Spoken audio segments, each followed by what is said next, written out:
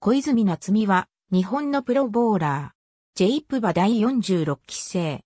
ライセンスナンバー497。神奈川県出身。名古屋産業大学卒業。グランドボール所属。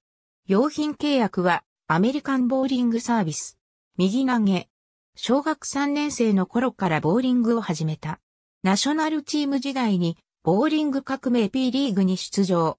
キャッチフレーズは、初期はジャパンのど根性娘だったが後期は逆襲のベイビーフェイスとなった。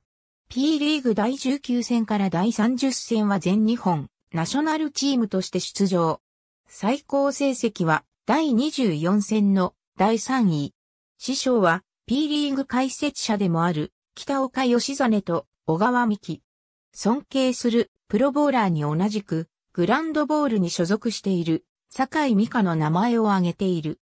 2013年に日本プロボーリング協会のプロテストにトップ合格してプロ入りを果たした。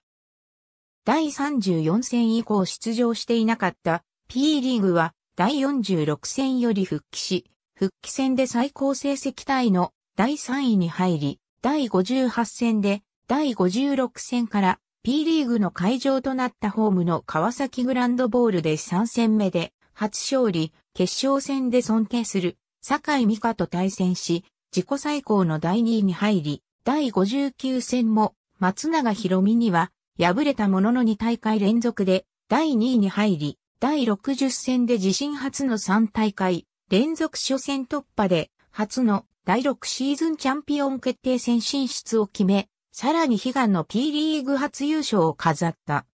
その後行われたシーズンチャンピオン決定戦は第6シーズン第2戦の決勝戦と同じ顔合わせで敗れたもののシーズン獲得ポイントは第1シーズンで森彩菜校が獲得した24ポイントを上回る29ポイント。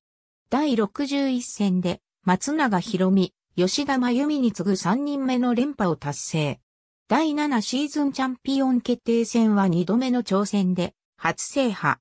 日頃は所属である川崎グランドボールにて受付やレッスンなどの通常業務をしながら自らのレッスンにも励んでいる。